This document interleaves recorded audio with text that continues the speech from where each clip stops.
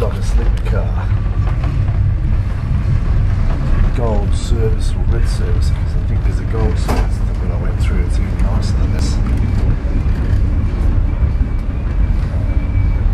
Kind of a strange winding pathway through here. Behind these doors, I guess there's sleepers